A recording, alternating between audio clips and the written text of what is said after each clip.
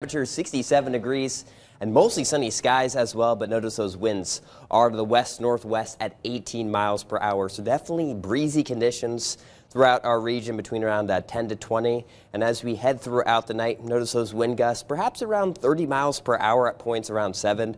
But for the remainder of the night, looking at uh, otherwise light and variable winds. So uh, definitely some uh, calmer weather as we enter into the morning hours. Current temperatures now 67 in the fort, 65 into Kendallville, even nearing 70 into Marion as well. Seeing partly to mostly cloudy skies for a good portion of our region as we're looking at those clouds slowly departing the area. Notice places like Huntington, Wabash, even into Marion, seeing actually some sunshine at the moment. And those clouds will continue to depart from west to east as we progress throughout the night.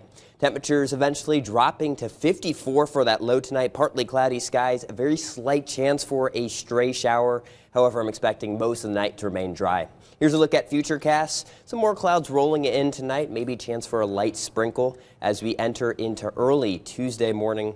Couple light rain showers, mainly at a hit or miss uh, intensity. And then as we go into Tuesday afternoon, some more clouds rolling across the region, maybe a chance for a spotty shower into the afternoon. And then heading into Tuesday evening, some more widespread rain coming in, maybe even a rumble of thunder. However, we're not expecting any uh, severe weather with this, maybe just uh, a general thunderstorm. And then into Wednesday morning, a couple lingering light rain showers, mostly cloudy skies.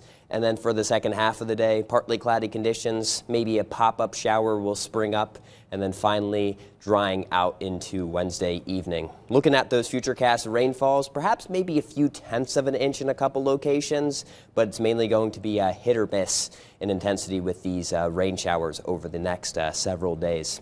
Here's a look at your day planner for tomorrow. Temperatures eventually rising to near uh, 70 degrees. Chances for pop-up showers for a good portion of the uh, afternoon. So definitely something to keep an eye out for, but nothing to totally spoil your plans for tomorrow.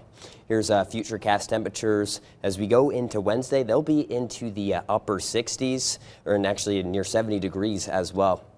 And then as we go into Thursday, we're going to see some cooler than average temperatures, upper 60s uh, for highs, which is around uh, 5 to 10 degrees below average for this time of year. And even into Friday, that cooler than average temperatures are expected. So definitely some uh, cool weather over the next several days.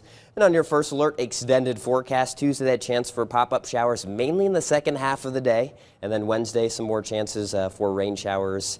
And then we'll see those temperatures only into the upper 60s. Thursday and Friday are going to see the return of some sunshine, mostly sunny skies, 70 on Thursday, Friday 76, mostly sunny conditions as well. And then Saturday, some chances of showers mainly into the second half of the day and 80 degrees on Sunday. A shower is possible as well. And then as we enter into Monday, we'll see some more chances uh, for some thunderstorms. So definitely this week is shaping up to be a little cooler start. And then eventually as we go into uh, the weekend, actually some warm temperatures and the return of some more rain too. Yeah, and I know a lot of kids are out of school. This is their first full week of summer for them anyway. But those temperatures don't look like pool weather to me. Yeah, that doesn't look like pool weather. They might be a little deceived. They're like, is yeah. school really exactly, out? Exactly, you know? exactly. So, but 80s on Sunday, they'll just have to swim then. Yeah, they can swim then. Or they can brave the weather. We'll